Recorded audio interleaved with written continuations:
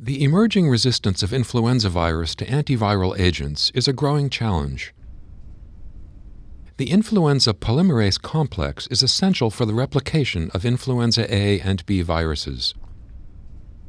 Baloxavir marboxil is a small molecule prodrug that selectively inhibits cap dependent endonuclease, preventing polymerase function and influenza virus mRNA replication. Capstone 1 was a randomized double blind placebo controlled trial that evaluated the efficacy and safety of baloxavir as compared with oseltamivir in a phase 3 trial.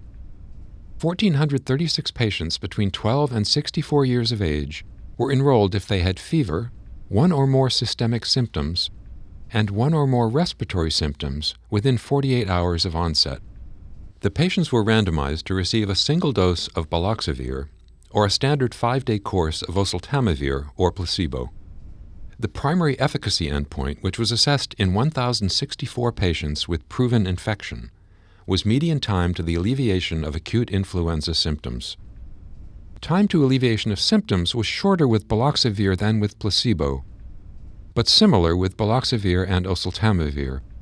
The virologic endpoint evaluated change in infectious viral load. There was a more rapid decline in infectious viral load with baloxavir than with placebo, and a more rapid decline than with oseltamivir. There was no difference in adverse events among the three groups. The authors conclude that single dose oral baloxavir was not associated with clinically significant adverse events and achieved clinical benefit and antiviral activity in uncomplicated influenza. Full trial results are available at nejm.org.